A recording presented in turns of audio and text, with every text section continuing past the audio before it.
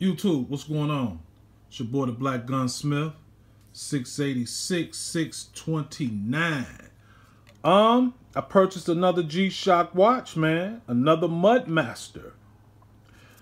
This is another GWG 1000-1A3.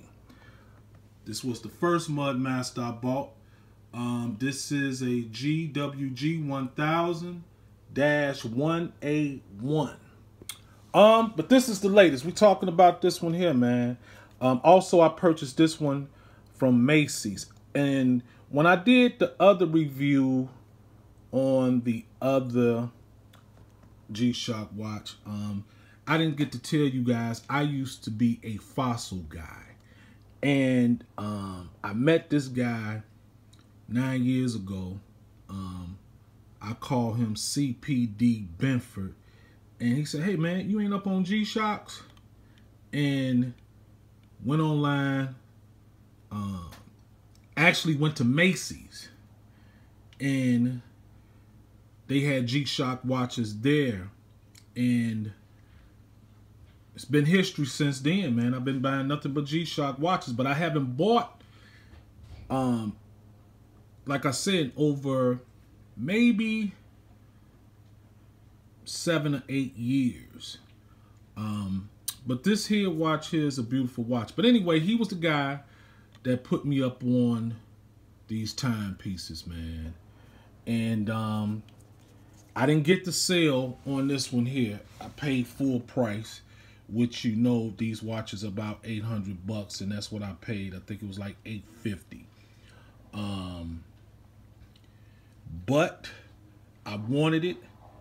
Um, when you go on Casio's website, also they had it on there and then it disappeared. So people are buying these watches. Also, I could have got a better deal from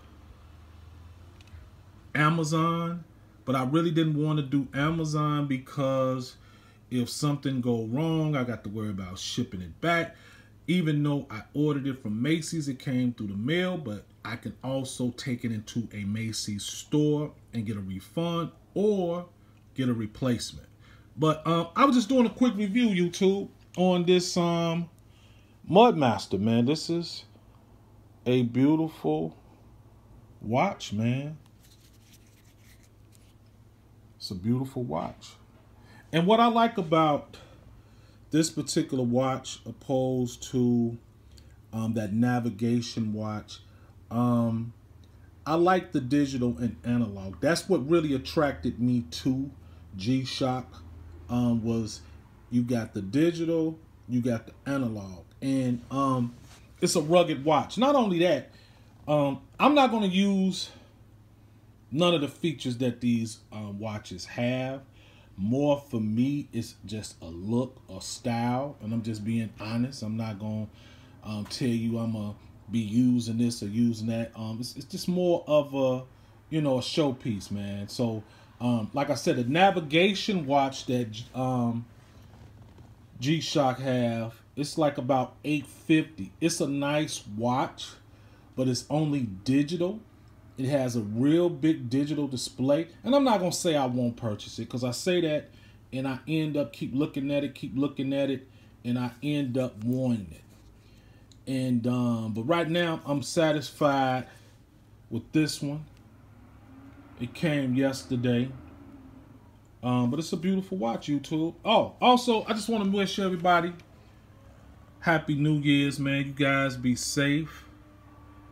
Um, I will be in the house the rest of the day. I'm not going nowhere. I got alcohol. I got cigars. I got a lot of food. Um, I'm gonna be at home today, man. I'm gonna be at home. I'm gonna be in the house real safe. It's crazy out here. But anyway, YouTube, I was just doing a quick review to let you guys know I did buy another timepiece.